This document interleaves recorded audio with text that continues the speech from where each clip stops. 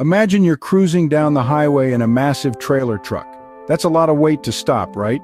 So how do the brakes work? It's all about air pressure. When you step on the brake pedal, you're opening a valve, allowing air to flow into the brake chambers. This air pushes a rod, which then pushes the brake shoes against the brake drum, creating friction. And voila, you're slowing down. But what if there's a leak? No worries, these trucks have a fail-safe. If the air pressure drops below a certain point, the spring brakes automatically activate, bringing the truck to a safe stop.